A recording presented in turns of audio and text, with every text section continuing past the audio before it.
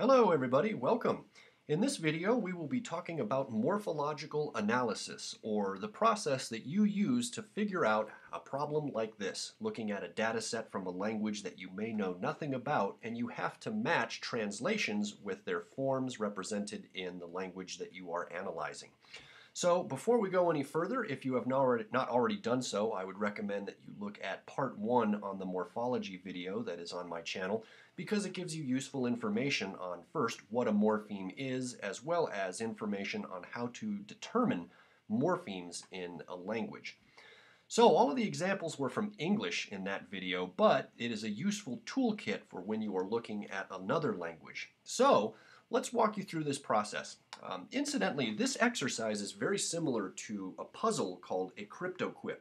Cryptoquips often appear in newspapers, and it's basically where one letter represents another letter throughout the puzzle, and it usually is some sort of joke or silly pun.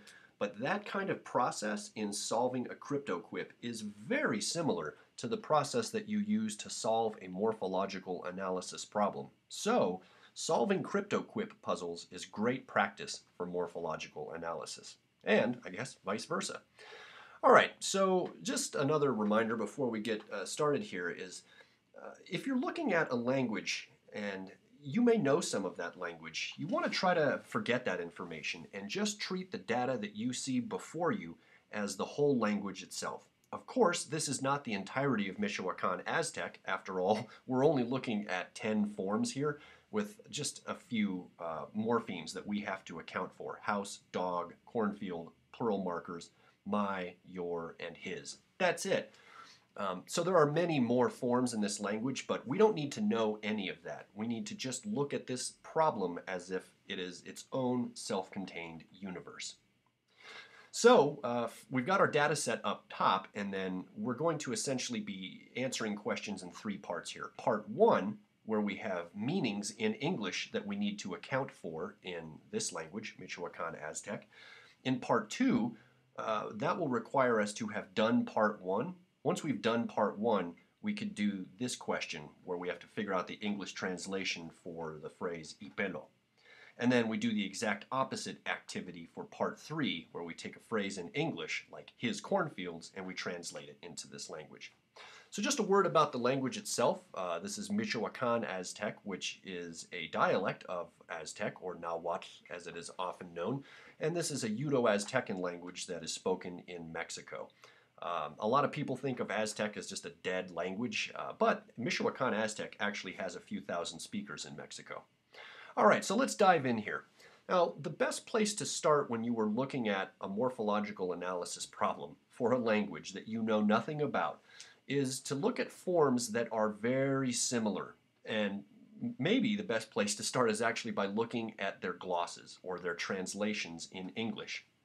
So if we look at A and B, for example, we can see that the translations are very similar. For A, we have my house, that's Nocali, and we need to kind of break that down and figure out what part means my, what part means house. Uh, and then we could look at B, which is the same except for one thing. We've got this added plural marker at the end that we will need to account for. So this is a good place to start because it's kind of similar to this notion of a minimal pair in a language. And I talk about a minimal pair in part two of the morphological of, of morphology that I uploaded, even though minimal pairs have a lot more to do uh, with phonology. But anyway, um, getting back to A and B here, if you see that the gloss is my house, for A and that the gloss for B is my houses, there's only one category of difference here. They both have this meaning of my, they both have a meaning of house, but this one has an added plural marker. So what that means is any difference that you see reflected in the Michoacan Aztec forms for A and B, the difference will be uh, what's accounting for the plural marker. So notice that Nocali is present in both of these forms for A and B, but mes is extra. So mes then must mean the plural marker in this language. And we can then go ahead and write that down here, being careful to put this enclosed in brackets to signify that this is the uh, International Phonetic Alphabet, since all of these are enclosed in brackets. So it's not how it's just written in terms of the orthography or writing system of that language. It may not even have one. Uh, this is instead how you actually pronounce the form in that language. So we want to be consistent and then write mes as the form that indicates the plural marker. And then we could sort of do a brief double check here by looking at other forms where mes appears and see if plurality is also represented in the gloss. And sure enough, the only other time when we see mes pop up is the only other time when we see the plural marker represented in English. So we've nicely just verified that mes in uh, Michoacan Aztec must represent the plural marker, kind of through a process of deduction. So we've still got several other forms to account for, and we can actually uh, go to C and D. That's a nice place to kind of keep going. So look at this one. It's your house versus his house.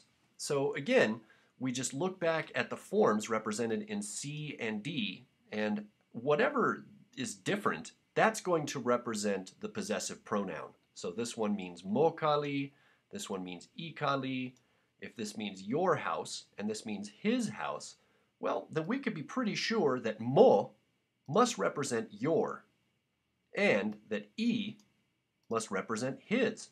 So we can go ahead and write these in here. So right next to his, we'll write the E, and of course this is a lowercase i, but we are using the International Phonetic Alphabet here, and this symbol represents the sound E. Uh, and then going back to no, or sorry, we're actually doing mo. Uh, mo must mean your. All right, so we're moving along here, and um, we could also kind of double check our work here because we could look at other places where this morpheme makes an appearance or where this translation makes an appearance. So we can look at other translations in English and we would expect that mo should appear. And we've got mo kali here. That was the basis for our proposing that mo means your. Uh, but it also appears here, your cornfield. And sure enough, there's mo. So that seems to check out just fine. And we can do the same thing with his for his house. We've got the E so that's our basis for making this claim that E represents his. All right, and then do we see his? Yeah, there's his right there, and sure enough, there's E at the beginning. So we've got enough evidence here to keep these uh, as we've written them.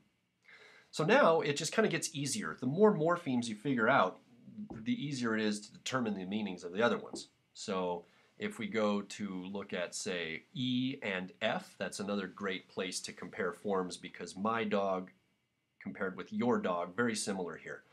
So um, we've already determined that your in this language is represented by the morpheme mo in uh, Michoacan Aztec. So sure enough, mo makes an appearance there. If we know that means your, well, then everything after it, that must mean dog. So pelo may mean hair in Spanish, but in this language, Michoacan Aztec, it means dog. All right, uh, and then if we go back to E here, we've determined that pelo means dog. So what comes before that? We've got no. Well, that must, through a process of elimination, represent the meaning for my. And now we've got two more morphemes that we have to account for, house and cornfield. So if we go back to I guess C and D will allow us to answer these questions. So we've already determined that your in this language is mo, and that E in this language means his. So we can reliably say that Kali means house.